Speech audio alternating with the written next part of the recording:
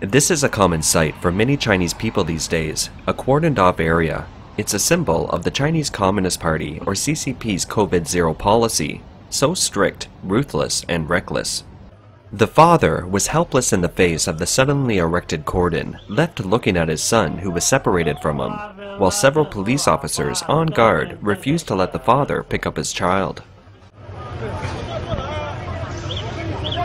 That's the father on one side, and this is the son on the other side. Here is a young mother who had gone out for groceries and came back to find her neighborhood on lockdown. Her child was sleeping at home, but the mother wasn't allowed to cross the cordon to get home. I live right across the street. There's no way you can go in there. I went out to shop. My child is at home. What should I do? There is no way.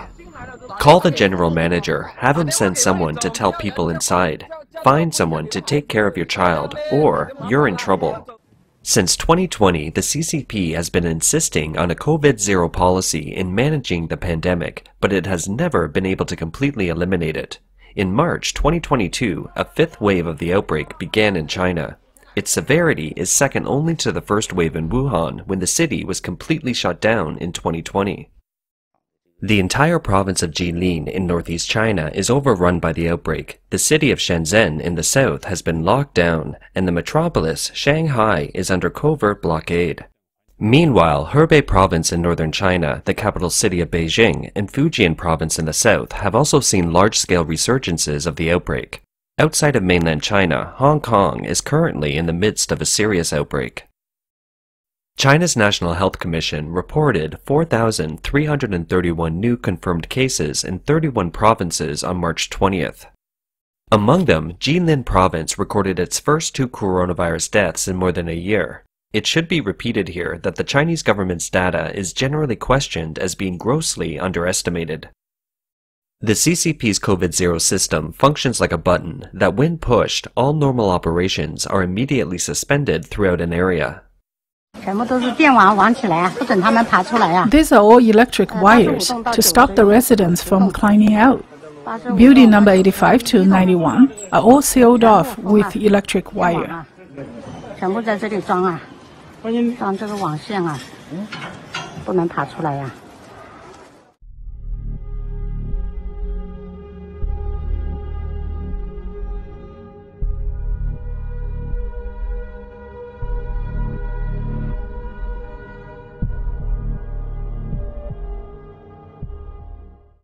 Most residents are confined to their homes, while some who are at work aren't allowed to go home but are isolated in their workplace.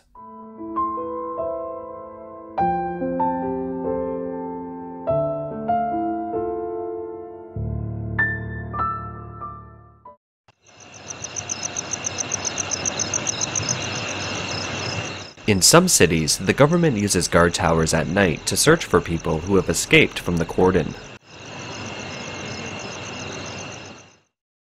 As the outbreak sweeps through mainland China, Xinhua, the Communist Party's news agency, issued immediate instructions to take the most through preventative and control measures, strive to achieve zero COVID on the social front in the shortest possible time, and write a new chapter of People First, Life First.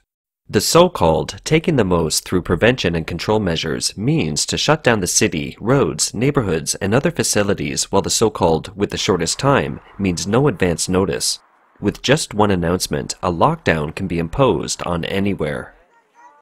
If one happens to be in a public toilet at the time of the lockdown, and it happens to be within the lockdown area, then one will spend the lockdown period in the public toilet.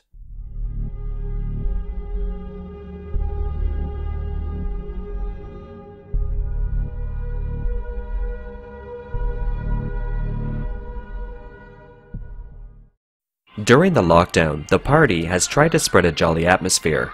For example, drones flew over the neighborhoods and played cheerful, upbeat songs.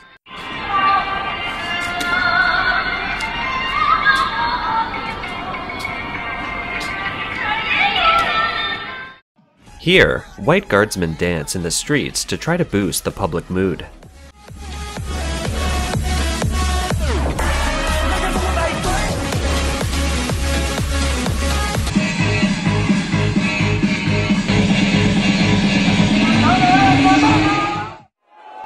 However, these measures haven't alleviated people's frustrations of being cooped up in their homes. Multiple online videos show many residents of the lockdown area shouting, Lift the lockdown,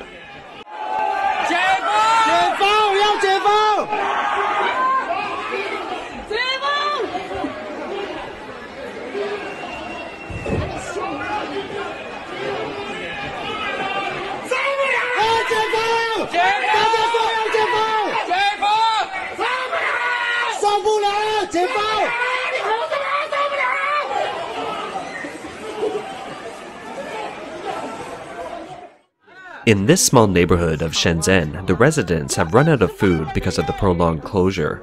In their plight, the residents have gathered together to protest. People in the building are revolting. This protest finally rattled the authorities, and in the evening, the residents were given instant noodles.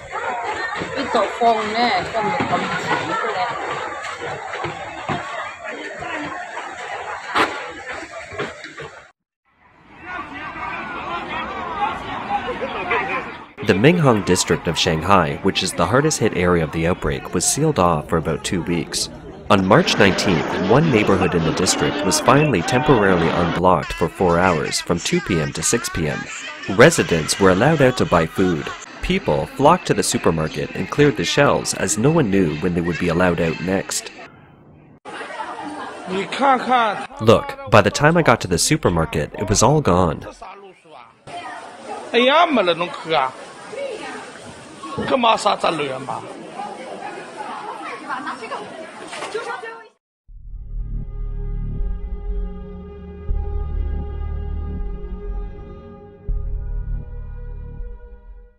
？It's the fifth day that the residents of our district have been locked in their homes.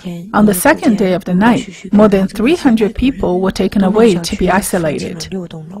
Currently, six buildings in the area are locked up. Everyone is panicked. Now it costs 10 yuan for 500 grams of potatoes. Prices are soaring. The economy is bad. And it's hard to get to work. Now it's even worse. Here, even if we buy groceries online, we can't get them because we aren't allowed to go downstairs. My good friend has been eating boiled eggs for four days. We're really hungry. She doesn't have a stove. She works in a shopping mall. In her shared apartment, there's only a kettle. I want to bring her some food, but I can't get out. The man who came to do the test asked me whether there was a community leader taking care of me. I almost cried. Who cares about us? We're just left here to fend for ourselves. In one of the outbreak hotspots, Jilin province, food shortages are severe as well. How can the people live? How can people live? They don't have any vegetables in their home. You, calm down a bit. How do you let us live with no groceries at home? You have to cooperate with the government. Put on your mask. To cooperate with you? Do I have contagious diseases? Put the mask on. In order to maximize the effectiveness of the lockdown, the government encourages people to report each other for escaping. This man is climbing the wall, and he's looking at me, and he's running away, ashamed.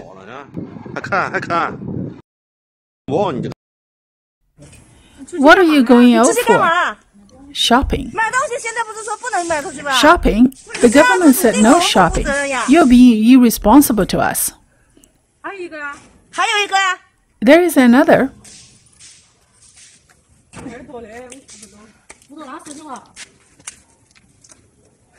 Do not let her in. She's out.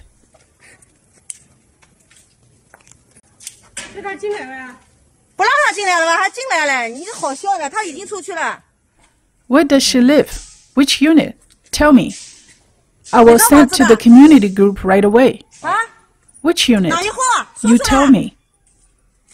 我马上就发到社区群里了，告诉你啊，你不能进来的啊。房东也要说的呢。几号？不知道。你说。 不知道。 你把口罩放下来。我都还没出去呢。 You take off the 不 mask. 行的，你这样子的话， You 你 can't do 我们 this. 家他他家 Take the 老老 mask 小小都在 off. 里面， There is 把口罩 surveillance. 拿下来。 Or I'll report you. 有监控的，你把口罩 You 拿下来， take 要 the 不然我 mask 报案了啊！ Or I'll report you to the police. 你把口罩拿下来，要不然我报案了啊！ I haven't even gone out. 那我都还没出去啊。你没出去，你把口罩，因为我不知道你们住在哪里的，你要不要把口罩拿下来？ 哪边？几号？这里过去，我好像是我看一下， It's the same. Show your ID card.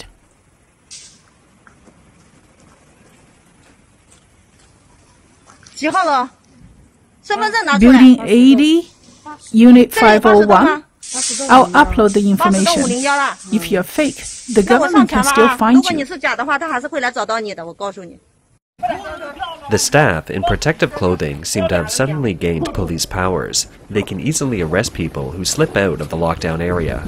This is the man who was arrested. His pants slip off, but he isn't allowed to put them back on.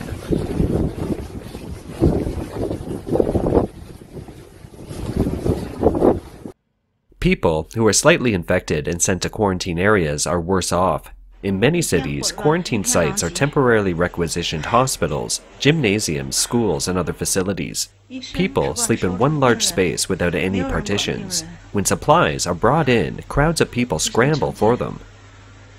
我看看啊，这就是东江站给这个给这个老百姓弄的隔离点儿，根本我们这一家子都是这个阴性， 家里也没有人接触，然后让孩子在车上弄一宿，弄了二十来个小时，已经孩子要感冒，大伙儿也发朋友圈看看那可怎么办。全部都自己抢物资，一片混乱。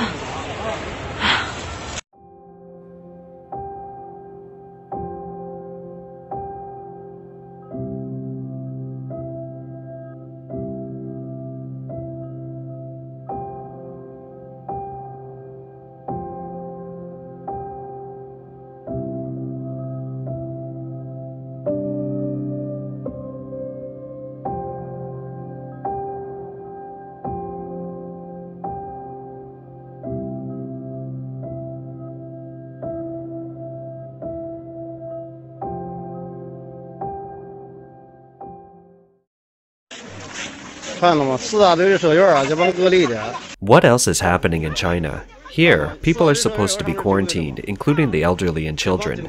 They are left on the streets for 30 hours in the snow and wind.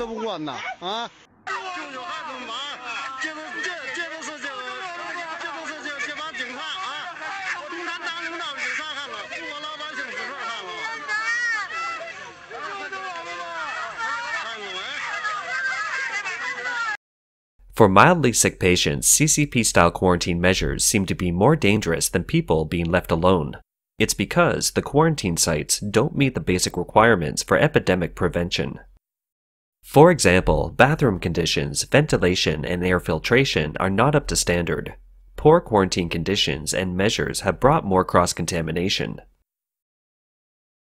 Prolonged lockdown and quarantine have put people's livelihoods at risk. Jobs are shutting down and businesses are being forced to close.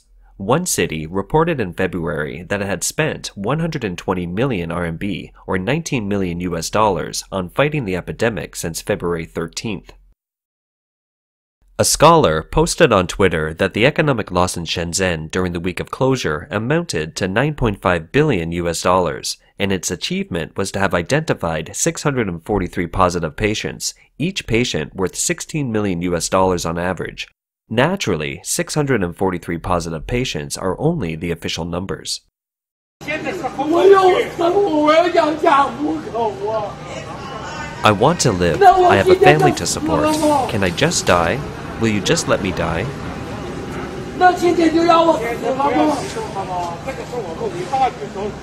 You have to trust the government for the general public's sake. If you are like this, how can we do our work? What about the laws of the country? Our money is hard earned. It's all hard work. Now you see that the doors are closed. The goods we brought in, boxes of boxes, are going to be dumped. We dumped them all. What should we do? You leaders, who can tell us where we can turn to, who we can go to? Can we, the people, still live? We dump these goods in tears. What are we going to do?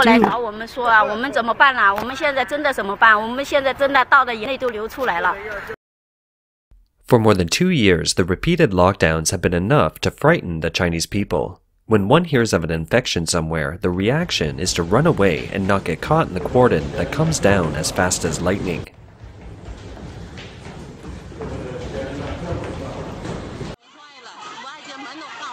On March 18th, an outbreak occurred in the garment city in Shenyang, northeast China. Thousands of merchants scrambled to escape, and those who fled late were already locked up inside. The scene was chaotic.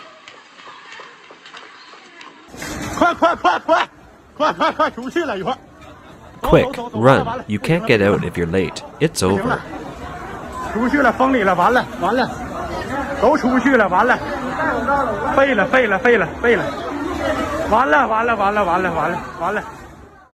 There was no way to know the extent to which the Chinese economy has been hurt by the CCP's harsh COVID zero policy.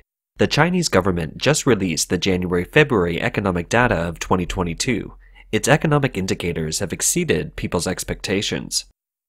A Chinese netizen broke the news that since the pandemic, the Statistics Bureau has almost doubled the GDP of all businesses, a friend of mine only had 30 million business turnover, but reported 200 million after being hinted to do so.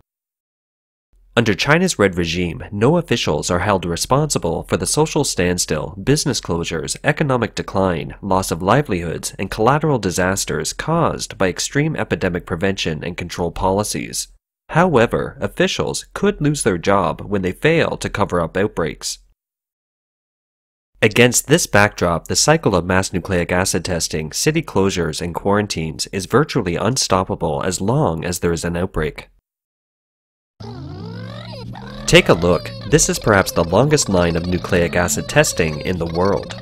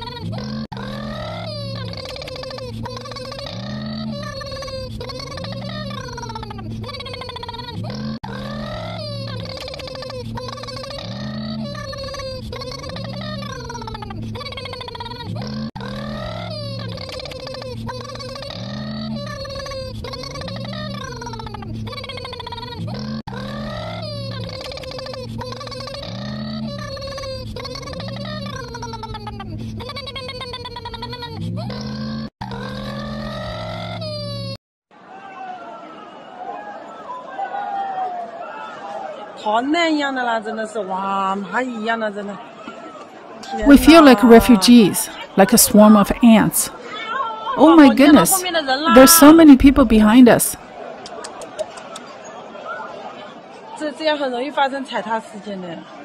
It's easy to have a stampede. Testing, testing. I've been tested. When did you test? September. It's more than three days. Test within 48 hours is required. September isn't okay. Test within 48 hours. Why do you have to be so stubborn at such times? I'm telling you, the epidemic stuff, can you stop it just because you're scared? Be prepared for it. I'm telling you, it's useless. It's the truth. It's God's will. You have to be scientific to prevent it. If you come in contact with an infected person, you're sure to get the disease. If you don't come in contact with an infected person, how can you get it? You say science. Can it be above the sky? Do you know how many planets there are in the sky?